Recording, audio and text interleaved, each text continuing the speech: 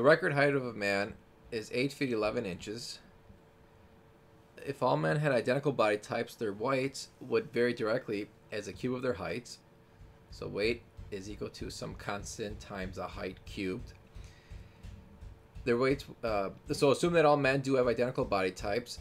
If a man who is 5 feet 10 inches tall weighs 175 pounds,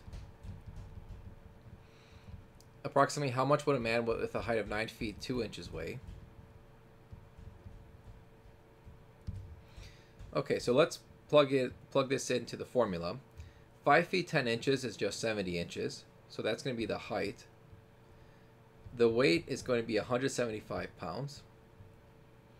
For the second person, 9 feet 2 inches is 110 inches. And there we want to solve for the weight. So the way to solve this is to divide the top and the bottom. So we have 175 over W.